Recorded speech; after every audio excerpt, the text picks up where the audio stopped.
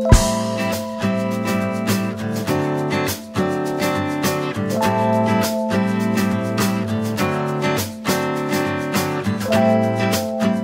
morning, everyone. Um, good to, it's always good to do the first talk for the day, and people are still in bed, I guess. uh, so, um, so my topic is obviously about love. I was told that I should wear a red shirt for this, but uh, obviously Valentine's Day is over, so I thought we'll leave the red shirt for another time. Um, and because we're actually going to be talking about enterprise IT and how to streamline your enterprise IT so that you can get more love, or at least make sure that your team doesn't hate you or doesn't hate the, the your IT. So, in my uh, as part of the role I play as uh, uh VP operations at WSO2, uh, I, I look at how we can optimize the way we execute within the company across everything we do. So that's from finance, marketing, sales, engineering, delivery, and looking across everything to make sure that we are having optimum efficiencies and effectiveness in everything we do. And a good part of that obviously comes down to the software and the tools that we use uh, as part of our uh, IT infrastructure because we are, we, are, we are a software development company ourselves, but we are also users of software because we have customers, we have customer records to manage, we have invoices, an increasing number of invoices to raise, we have uh, uh, uh employees, we have over 500 employee records to manage, um, etc., expenses to manage. So for all of those things, we also need software tools within our company, and we also go through the same set of issues that uh, any enterprise would have with their, in, uh, with their IT landscape. So um, if you look at a typical enterprise, uh, over time, I mean, you will obviously start off with just a few um, uh, uh, very basic IT, maybe just spreadsheets, maybe just some collaboration software. And over time, this will, your IT landscape within your company will increase. You'll have packaged software, you will decide to build some of your own software, uh, uh, and, and more recently you start sub subscribing to more SaaS type offerings. Um, and regardless, uh, over time, you start getting systems uh, in your company with all the possible abbreviations uh, from ECM to CRM to BI to ERP to whatever. So whatever the systems you have in place, over time, you're going to have a whole load of systems in your company, uh, in your enterprise, which, uh, I mean, obviously, over time, it's going to start creating some operational issues for, for users and obviously in terms of how they use it. So the IT that you put in place is not always going to be planned. It's not going to be always based on a, you know, a roadmap or a, a preconceived master plan for the, how the IT infrastructure is going to be. Because obviously when you start off the company, you'll be more concerned with bringing in your first thousand dollars, you're bringing in your first customers, retaining the business, retaining the customers, retaining your employees. Um, and, and, and coming up with a master plan for your IT infrastructure is going to be probably last on your list of priorities, right? And you start thinking about this few years down the lane when you have all these systems in place. Uh, and, and, and, and because, I mean, you'll see, to start with, you'll have a, your, say, your, your head of sales or your, your VP of sales or someone will say, okay, now I can't manage my sales records anymore on a spreadsheet, so I need to move into a CRM. So he'll go and find some budget, come and get a, a, a get a nice shiny CRM tool like Sugar CRM or, or Salesforce or something like that, and then few months down the lane, the finance person will come and say, okay, now I can't raise invoices on, on Word documents or PDFs anymore. I need a, to be able to track this more effectively, so I need to go and get some kind of invoicing or a billing system. So all these people will work in their own silos. They'll come up with their own systems. It will do the job. Uh, it will do the job within their silos uh, in, in an effective way.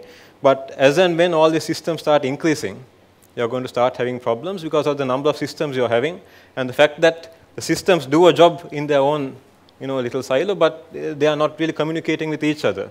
And when that whole IT landscape increases, uh, you're going to find that this is going to cause operational issues for the users, for your team, and it's obviously going to start affecting motivation. So Let's take a couple of examples. I'm taking some very basic examples that we can all relate to. Um, so example number one. So let's say a your company has five systems, some on the cloud, some uh, on-premise. Each of the systems will have its own authentication requirements. It will have, uh, some will say, I need a, a username, which is your email address. Uh, it needs to have a password, which is a mix of characters and numbers and exclamation marks, etc. Some will say, I don't want an email address, I just need a username, etc. And, and, and so what will happen is eventually, your, for five systems, your users will need to remember five different usernames and passwords right? And, and, and then you'll obviously start seeing people putting their usernames, passwords on a post-it note, pasting it on their laptops, putting it in a drawer, putting it on a notepad or, or even on the phone, or, or just always calling IT support to, to uh, help them reset passwords or get new passwords or whatever. It just becomes hassle. So, I mean, obviously, this is something that all of us have gone through at some point, right? So, uh, it's, it's a quite obvious one. When, um, number two, um, so this, let's say there's a salesperson who does a deal with a customer. He's, the salesperson is happy, the customer is happy, he's getting four bags full of whatever the salesperson sold him. Um, deal is closed, uh, goods have been delivered, but let's say now, what happens behind the scenes within the company, within the enterprise? Right? So back office, you will have a, uh, some kind of a CRM tool or the sales or even a spreadsheet where the sales guy goes and uh, puts in a record saying, okay, I've done this sale, this is the value, $100,000 or whatever.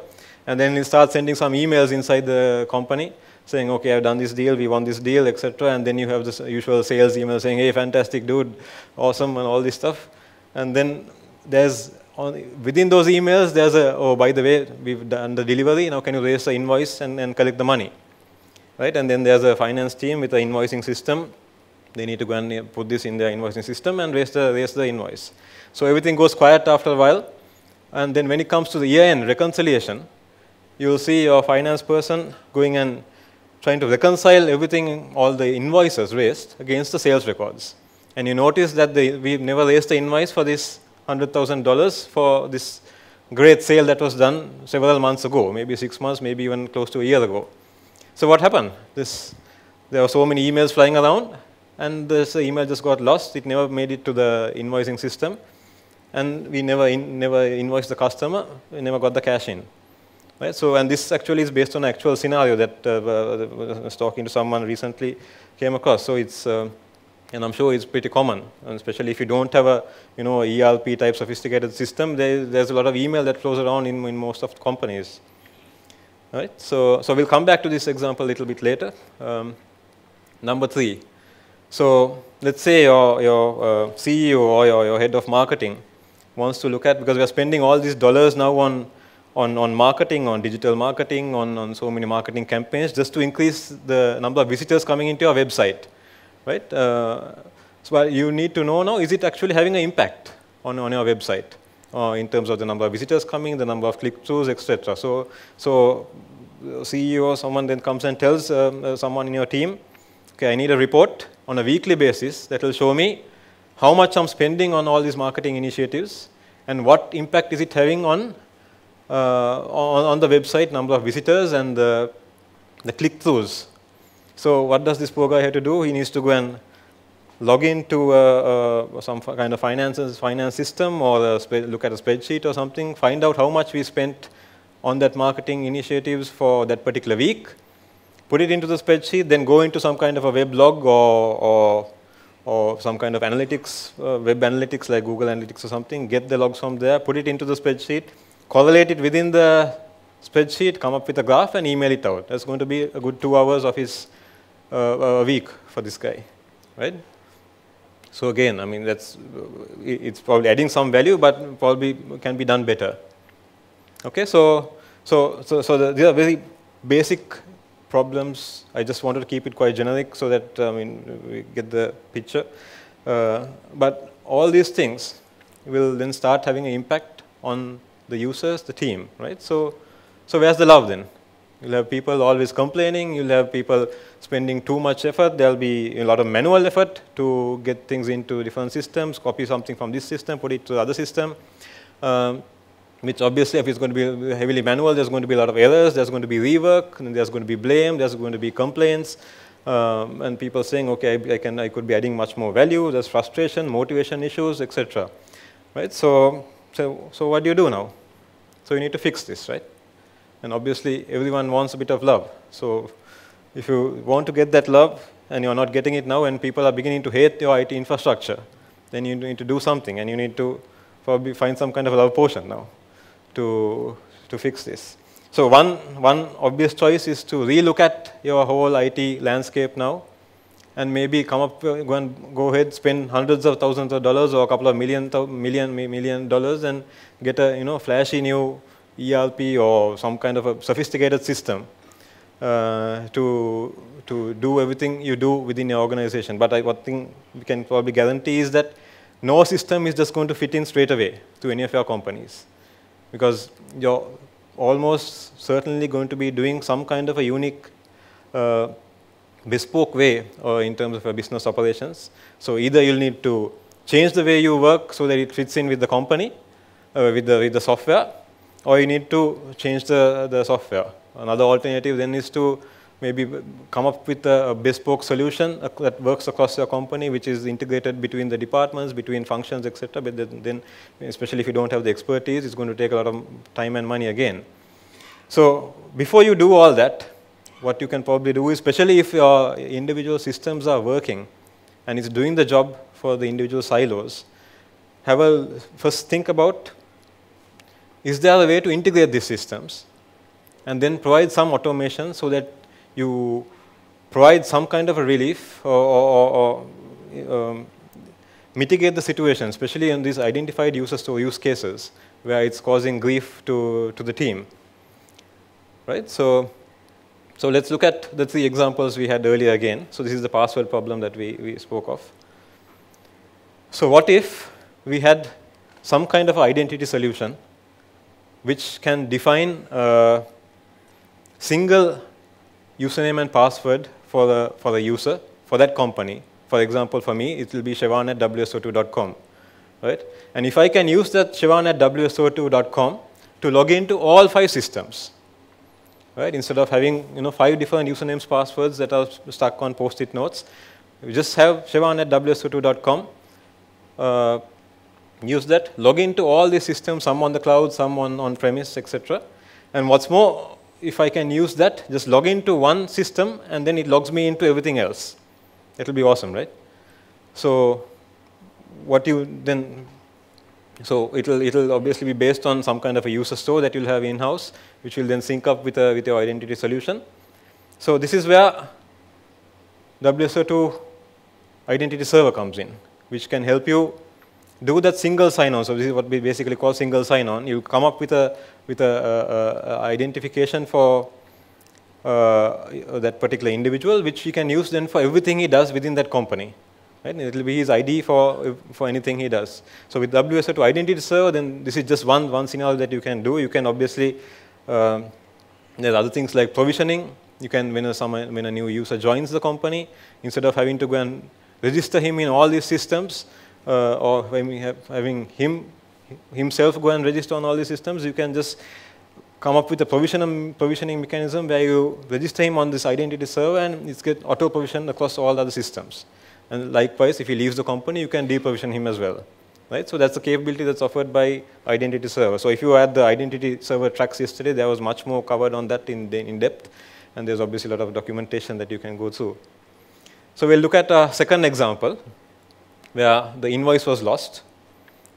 So what if there was some way that we can automate this flow where you have a record in your sales system. Every time you create this record in your sales system, there's some magic that happens that will also go and create a record in your invoicing system. Right? Instead of having all these emails flying around saying, I need to, uh, to, to, to make sure that record goes in and the invoice is raised on time. You, all the sales guy needs to do is put a, put a record in the sales system and then uh, it appears on the invoicing system or the billing system and the invoice gets raised automatically. Right? So to do this, obviously there's going to be challenges because this is, these are going to be two separate systems. There's, this system will be speaking in, in one language, for example, and this will understand it in a different language. So if, for example, this, is, this only knows to talk in CSV format, and this will only know to talk in XML format. So you need to have some kind of a translation there, which will need to happen here uh, so that you can perform that logic and then chuck it in so that the invoicing system will understand that. So, and guess what? So WSO2 has a product for that, which is the enterprise service bus. Um, so what we'll do is, so there, there's a possibility that your enterprise service bus will be able to integrate directly with uh, whatever the, the system you have, depending on, on what you have there.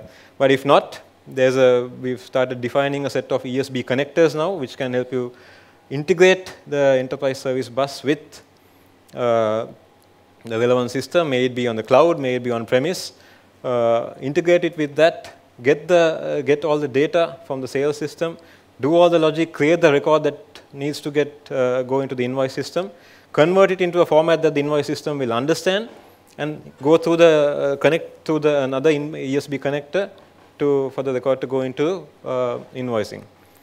And then obviously the record is there, you can raise the money, collect the cash, and everyone is happy. Yeah. Uh, scenario number three. This is where we have an operations person spending two hours a week trying to uh, come up with this report that the CEO or head of marketing wants about uh, you know, the marketing spend and, and, and performance on the website. So here, if we can look at automating this scenario where you have something that will collect all the data from the, the systems in concern. For example, bring the data, the financial records uh, related to that marketing exercise, bring it, bring it in, bring in the, the web logs or the, you know, the click-through rates, whatever, into a system, and then automate that correlation. It doesn't have to be on a weekly basis anymore. If you can automate it, it can be hourly, it can be daily, or every few days, or whatever. Bring it all into uh, uh, uh, uh into one store, do that correlation, come up with the dashboards and publish that. Um, so that whoever needs to view it, your CEO or marketing person or sales guys, they can all view that on a real-time basis now. And you don't need to have someone spending hours and hours creating all these uh, uh, spreadsheets. So again, WSO2 has a product for that. So you'll have an enterprise service bus which will, collect, which will help you integrate the different systems involved in this transaction, bring it all together, and then there's a data analytics server that we have, uh, which I mean you can, you can learn about it uh, later this evening as well, which will help you do that correlation, and it will have a it has a built-in dashboarding capability, which will create the dashboards for you and publish the dashboards so that anyone can go and view it on, on a web-enabled system, and that person you will free up that person's time to go and you know probably do Facebook or watch YouTube videos. Right? So these are so this, is a couple of very basic examples again that we spoke of here, and, and they are touching just a few um, uh, WSO2 products. But if you look at the overall WSO2 platform, uh, we have uh, 25 plus products now, which and if you look at all the integration scenarios or the systems that you have in place, and you think about the scenarios or the use, user stories, use cases that are really causing pain for your team. You should be able to start looking at how to integrate that and automate the different scenarios so that you just obviously make things much easier for, for people. And you can, obviously, if you need to expose some APIs, uh, give them additional functionality, you can do that. There's a whole integration piece here which will help you integrate almost anything. Uh, uh, and provide analytics. You can, you know, if there are security scenarios that need to be considered, you, you, we have we have solutions for that. And one thing specifically is the connectors. If you go to um, store.wso2.com, you'll see that we've now created, I think, close to 150 ESB connectors, which will help you connect to so many things from different on-premise systems to cloud, cloud, uh, cloud systems. Uh, and it's, it's increasing. We're always adding more connectors into that store. And what's more, if, you, if there's a connector that's not there already and you need it to automate some scenario uh, within your companies, just let us know. We'll be happy to add it to a list, a prioritized list that we are creating. And, or you can also create your own connector. It's obviously it's, it's open source, it's free. You can uh, download the connector framework. There's documentation in place for that. Go and create your own connector. And if you want, you can contribute. It's open source. You can contribute to, to, to the WSO2 community. right? So think about it, think about the scenarios within your company uh, and how you can automate it. It's again open source free. You, you don't need to wait for you know budget to come in to, to start this. You can go tomorrow itself if you have a great idea where you can automate something. Just go download a product, try it out.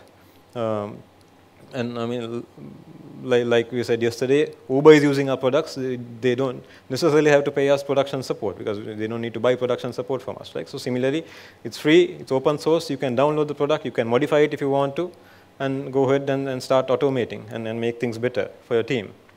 So I'm here now preaching all about the cool stuff about WSO2 products and how, uh, how it can be used to automate your scenarios. So one question you'll probably ask me is, WSO2, do you eat your own dog food? Are we using our own products to improve how we do things within the company and, and, and the automations that we do? Right? So the answer is, of course we do. So looking at the uh, the enterprise IT, the landscape within our company. So this is, I mean, it's an increasing set of uh, uh, applications and systems and tools that we have now, from Salesforce to Jira to People HR for HR uh, type stuff, Zuora for cloud billing, and we also have a set of applications that we've developed internally, again using our internal tools. Uh, these are the WSO2 internal apps. This is for time tracking, for, many, for talking to partners, etc. And again, it's an increasing so, so uh, set of applications. And obviously, because of this, we are going to have the same set of problems that probably you will have uh, within your companies. Right? So, so let's look, let's look, at a couple of things that we've done internally uh, in terms of automations. So first thing, we have the same password problem that we spoke of earlier. We have all these systems, everything will need some kind of a different way to log in and uh, uh, so many usernames, passwords to manage. So we've put in, and, and, and we have a certain set of systems that are only internal facing, just for our employees. And then there are some systems that are public facing for our customers because I mean, it's, it's, it's all, it's a community environment.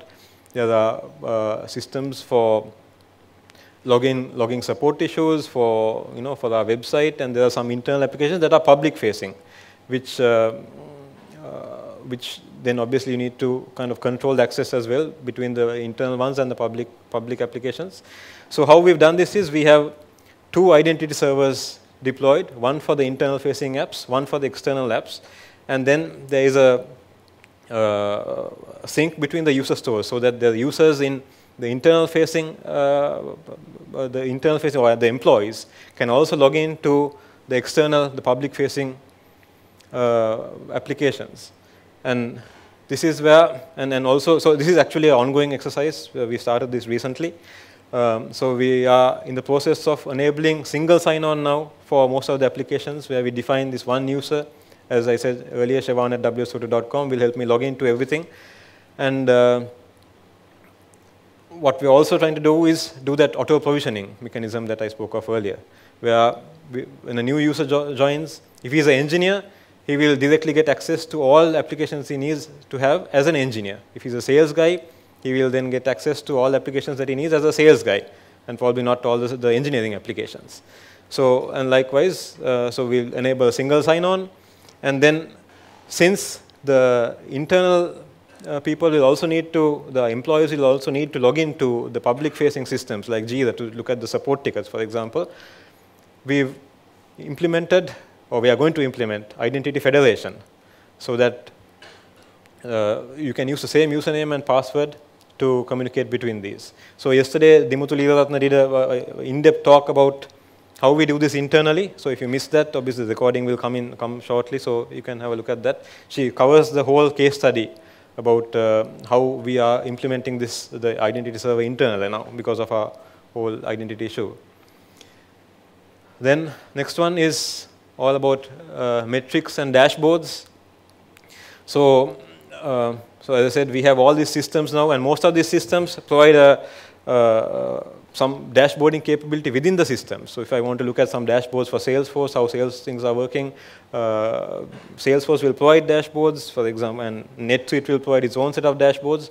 But what if I want to see, come up with some components or dashboards that correlate information between these systems now? Otherwise, I'll need to take information from or data from one system, go to another system, get that information again into a spreadsheet and do that correlation manually. Right? So what we've done now internally is we are integrating all these systems through an enterprise service bus, bringing all that data together, and then doing that correlation using data analytics server and coming up with the dashboards that are needed for, for delivery, for support, for engineering, sales, marketing, finance, etc. And for example, scenario, so you probably know we, we sell development support, and we sell that by the number of hours. Right? So if I need to know that customer, if customer ABC, we sold him 200 hours uh, three months ago, how much has he used? If I need to do it manually, I need to go to Salesforce to see how much I sold him. Then I need to go to Jira to see how much is available. So now we have a component or a dashboard that tells us real time. We sold him 200 hours, he has used 50 hours, he has 150 hours left. Right? So likewise, we are now coming up with, a, we just started work on a product dashboard. So for example, if I, as a product lead or an engineer or someone within the company wants to go and see everything to do with the enterprise service bus. For this needs correlation between five systems now. It's Salesforce, Jira, Jenkins, Redmine, and some internal systems, right, to look at the, the patch trends and all that. So that again, the correlation is going to be done through enterprise service bus, and we'll come up with a dashboard so that you go into that dashboard, you select the product, enterprise service bus, you'll know everything to do with that product, what was the build history, what was the, what was the release plan, how many issues are raised against this product, uh, how many customers do we have for this product, and everything. It's going to be very comprehensive for, for that. So this all is possible uh, through using our own tools as well. So, and so we've also now integrated this with the uh, IoT server, which is a recent addition to our, our platform. So what that does then is it takes these dashboards and then we can configure to say, okay, this dashboard, it's a finance one, it has some sensitive data. I want to send it only to the screens that we have mounted. So we have some TV screens, uh, monitors mounted on, on separate areas. Send the finance ones only to the finance team. And then there's some public, uh, some, some data about our you know, sales and a number of customers, which is public. We are happy to share with anyone. Send it to all the screens.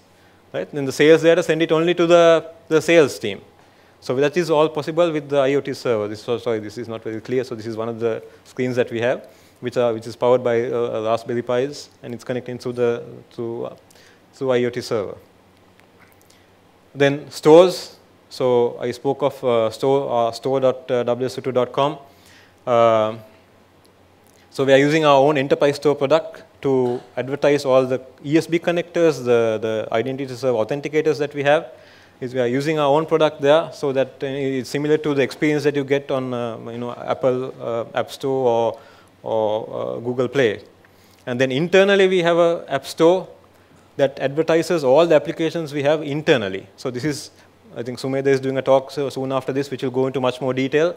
It's about advertising all the apps that we have so that people don't need to bookmark URLs, you know, write down links to different systems. Everything is there. They just need to log into this once. They log into what we call the app, uh, app Store once, and they'll get logged into all the systems that need that they need access to without having to go and log into the individual systems. Again, using our products integrated together here now with Identity Server as well. Another automation that we are doing internally, so we are using a system called Zuora for billing basically the cloud billing. So we have API managed in the cloud now. So from Zuora, we use Zuora to do uh, uh, to raise an invoice for as soon as a, a, new cloud customer registers. So at the moment, what happens is when a record goes into Zuora, there is someone who has to go and manually enter a record into Salesforce to say, okay, this sale was done, uh, so that we, we count it as part of our sales records. And then someone has to go and put it in manually into NetSuite because it needs to be get counted as part of our revenue. So what we are doing now is we are automating that scenario so that soon as a new billing record is created in Zuora, the record will automatically go and create a record in Salesforce and also go and create a record in NetSuite. Right? So those are some of the automations and stuff that we are doing internally using our own stuff. And yesterday, if you were there for Sean's session on mobile strategy, he spoke of how we are using EMM, uh, Enterprise Mobility Manager, to, do, to enable Wi-Fi capability for our internal people, uh, our team. Right, so, so in summary, uh, a growing IT landscape within your company, the number of systems.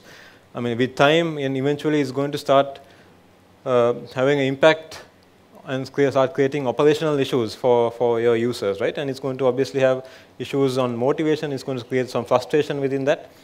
So you as you know, IT managers or operations managers or CIOs or, or even users should start thinking about before we do any, any drastic, you know, uh, uh, spend hundreds of thousands of dollars or millions of dollars, whether we can use our existing IT landscape, our existing systems to try and integrate them and automate those scenarios so that you can provide uh, optimized or the best possible user experience for, for those users.